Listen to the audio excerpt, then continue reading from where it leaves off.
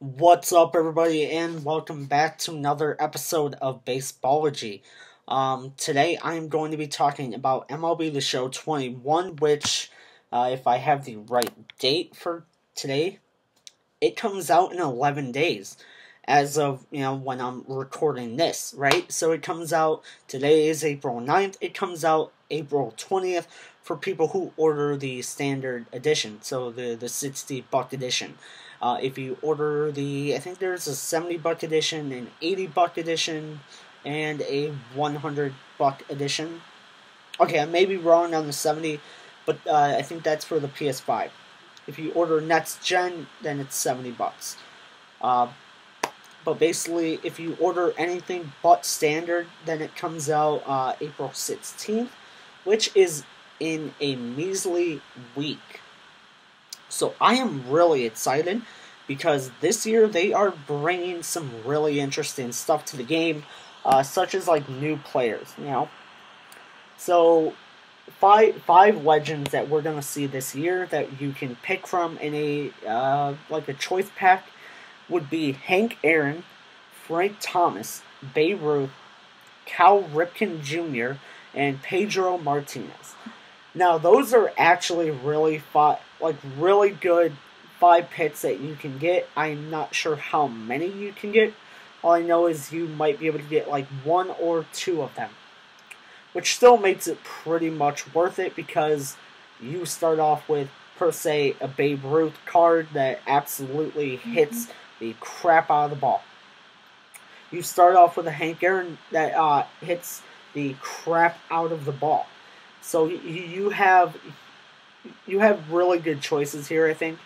I think your best choices are going to be Babe Ruth and Hank Aaron uh, because I think those are the best hitters um, out of the five. Right. Uh, obviously, Pedro Martinez is not going to hit the ball well. Um, I, I think Pedro Martinez is only good because like he has some filthy stuff and I, am not sure how, how hard his his card throws. I assume it's going to be up in the top like top 90s, maybe like high 90s, 97 ish, right? So I mean, it will be a good card, I think, but probably not as good as Babe Ruth and Hank Aaron, who just have sweet swings, you know. So I think it's gonna be really, it's gonna be really fun to use those guys. But on top of that, we have a bunch of. Uh, it's a new series for Team Affinity Stage One, and that that's going to be really fun this year because uh, we get to see a bunch of guys, one from every team, obviously, right? And all of these guys are like really good. I think for the most part, like Cleveland Indians have uh, Franmil Reyes, and um, the Royals have Salvador Perez. So these these are really good guys that are current stars on, on the team they play for. So it will be pretty exciting to see some of those guys. Um, but on top of the legends that you get in the uh, in, in in Diamond Dynasty, right? I, I already said Hank Aaron. He he's already like he's already off the board there but they they are adding more players that are going to be really exciting to use because we've never really been able to play with them. Um, a couple of these guys, the last time you played with them was like 06, 07, 08. MLB The Show 08 or something, right? So we, we have Hank Aaron, obviously. I already said that one. We have Pedro Martinez, so that one's another one that I said. Uh, we have Roberto Clemente. Now, this one's going to be really fun to use because I think they finally got his rights to use him in the game, which is he was an amazing hitter. Like, he was an amazing hitter. So, it's going to be really awesome. Uh, he's he's that guy that sadly died right after getting his 3000th hit. So I think his uh, his card is going to be more contact based and speed, I think. And I, I think he's obviously going to have really good fielding too. I don't think he's going to have much power. He'll probably have about like 50 to 60 power if he's lucky. Otherwise, I think he's really he's going to be really good.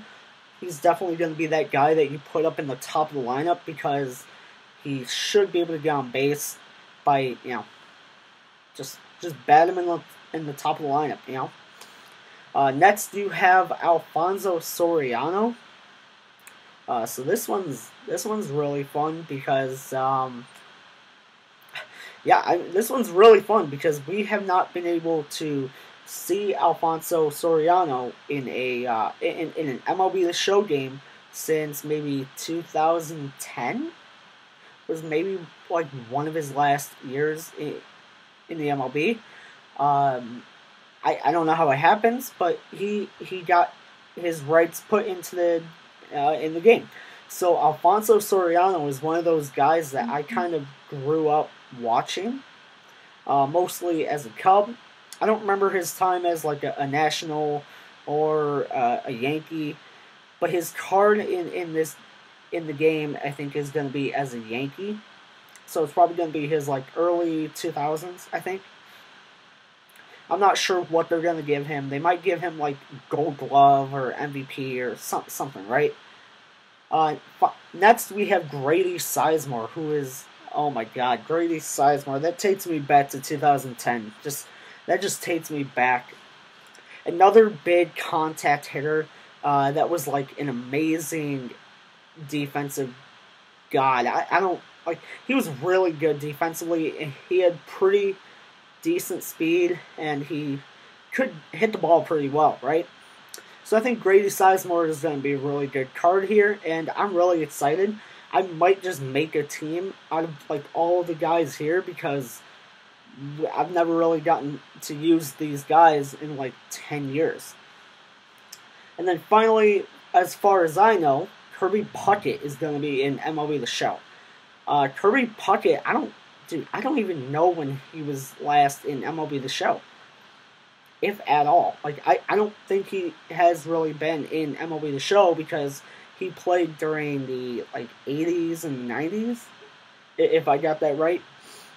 So I don't think he he's really been in the game. And this is going to be fun because I don't really I don't really know too much about him. I know he was kind of like a one of those like good defensive guys, uh, but maybe not so great with the bat. He was like a plus hitter, like a plus hitter. Like I don't, I don't know. I, I don't know too much about Kirby Puckett. I don't know what they're going to do with his card, but I think it's going to be really cool. I think it's going to be really fun to see, and I am really excited to to to get going on some streaming for MLB The Show 21 because that comes out in a week. I bought the $100 version, and it comes out in a week. I should get it here uh, by release date, I, I hope. I ordered from Walmart, so I hope it, it gets here on time, right? And I'm real I'm really excited. I'm going to grind the hell out of out of the game. I'm going to I'm I, I'm gonna be I'm gonna be in my room for at least 20 hours just playing MLB The Show. It's gonna be really fun, and I might I might try to drop like two videos on release date. Um, it just depends. Just depends on what schoolwork I, I have to get done still. Um, but you know, with with that with that, stay tuned for more uh, information. Stay tuned for more videos coming up really shortly, and make sure to like and subscribe. Like like my videos, subscribe to my channel. Please. I am at 31 subscribers right now and I mean that is a real I think for the most part that is a really big increase.